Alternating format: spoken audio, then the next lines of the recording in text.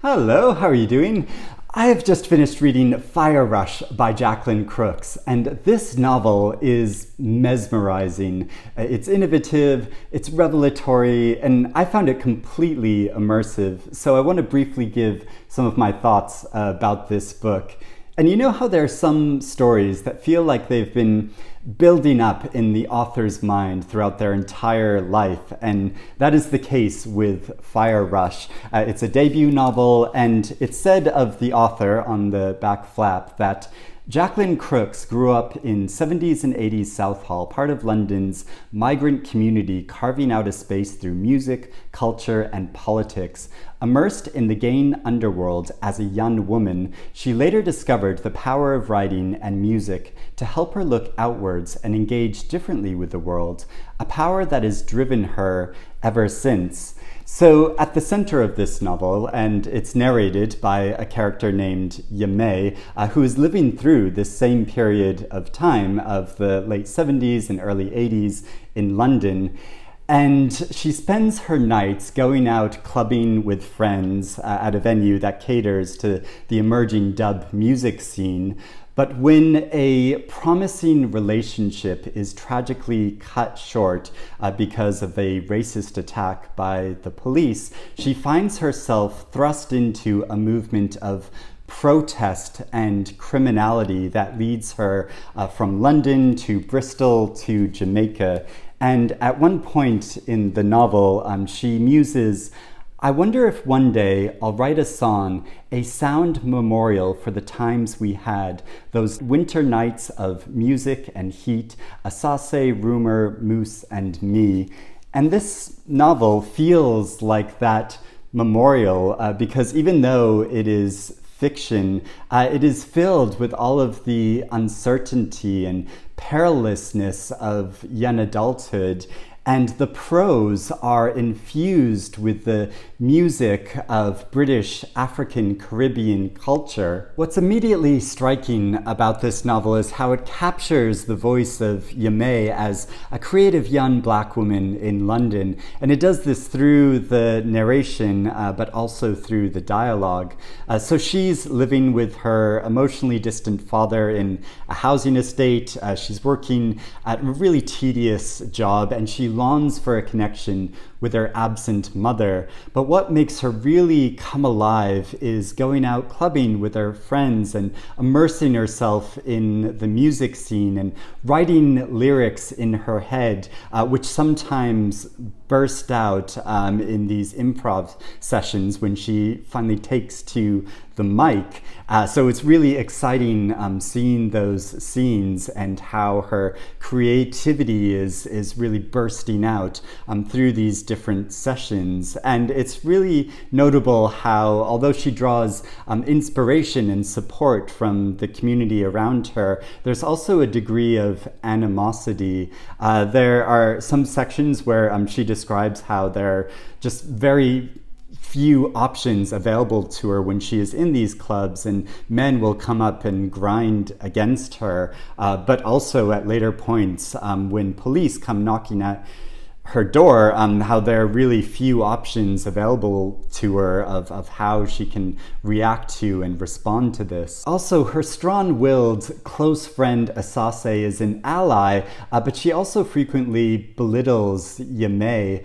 And there is this larger building tension between Yamaye and her community and the larger British establishment, uh, or Babylon, um, as it's frequently referred to in this book, um, in which uh, Babylon will spy upon her and members of her community and target them. It's inspiring witnessing Yamaye's growth over the course of this very dramatic story. Uh, although she encounters tragedy and heartbreak and violence, and she channels this into artistic expression, um, but she also courageously fights to carve out a space for herself that can feel like home. So I've seen responses from some readers that have commented that they didn't understand uh, some of the language in this book, but I think you can get a sense of what's being said through the context. And as you're reading along,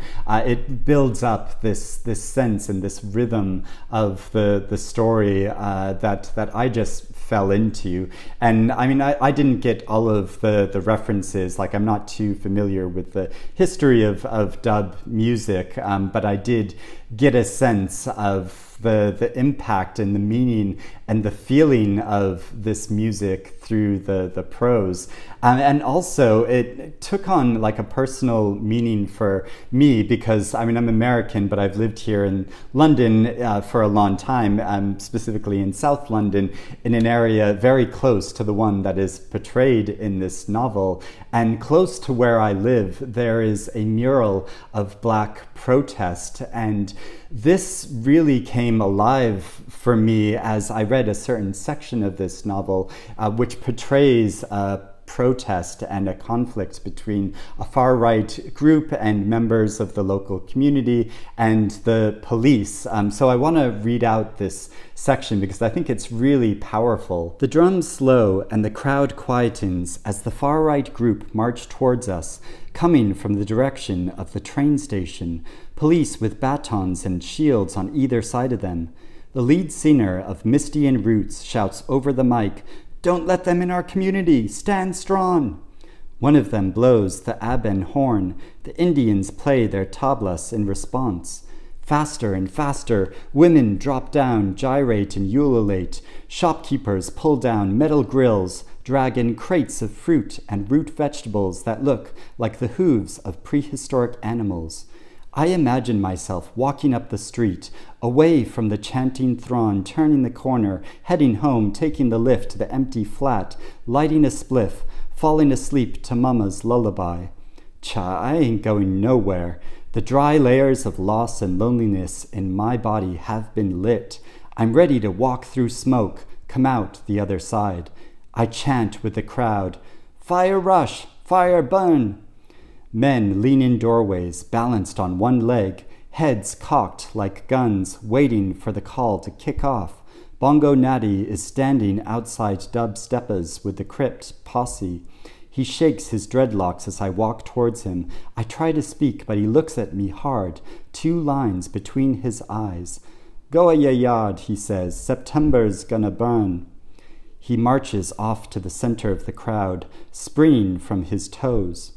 The abeng blows three times as the police and the far right group come to the edge of the crowd. Babylon push through, and suddenly there's a hot breath, whoosh, whoosh, as a Molotov cocktail flies through the air towards them. Synth splashes and molten spurts, the smell of palm oil and petrol. The crowd charge the police, surging off the black tarmac road with heroic badness peel head boys, rastas, shaven haired punks, women with cane rows and rebel hoop earrings, dropping all kinds of moves with supernatural war cries, whistles, and wailing. Some of them bust through fist fighting with men inside the barricade, grunts and shouts, the sound of truncheons licking shields and skulls and backbones, someone over a loudspeaker shouting, Riot Squad! And then the sound of horse hooves as caped police on horseback ride towards us, waving long white truncheons. People run in all directions, the explosive noise of glass breaking up, fires popping, shop alarms clanging. The far right group is fighting with our rebels in small groups, a tall, wiry man running at them, shouting, Bruck them up, bruck them up! His navy balaclava dominated by the burning red O of his mouth. Two men with slingshot, pellet eyes are standing on top of an upturned car, pounding it like a steel drum. Police on horseback fly at them like bats. The church bell is ringing and ringing, and smoke pours out of a shop on the street. A pile of crates in the road burns, flames lapping the air. It is such a striking scene, and I'm going to continue to think about it every time I pass by this mural that's close to where I live. Uh, it is just filled with such evocative physical detail, and it really conveys the emotional atmosphere and tension of this confrontation that's occurring in the streets. A visceral pain and anger for the way that minorities have been systematically marginalized and discriminated against in this country is conveyed throughout the entire novel and Yamaye is deeply aware of the subjugation that her ancestors experienced on a day to day basis, um, from the sugar she consumes uh, to the nightmares that continuously plague her. The story also meaningfully deals with the complexity of how we move forward as a society with options that range from complicity to flight to extremism, but by following Yamaye's heartrending journey, we experience the personal impact and difficulty of these larger events and debates. There are ongoing storylines of who from this local community might be snitching to the police, uh, but also what actually happened to Yamaye's mother. Um, so these add elements of mystery to the story, which really like drove me on to keep reading because I wanted to, to find out the answers um, as well as discover what actually happens in Yamaye's life. And although I was compelled overall by the story, there were some elements of the plot that I felt were a little clunky. Circumstances surrounding a friend's incarceration are handled a little too swiftly. Uh, also, there are some encounters that rely a bit too much on coincidence.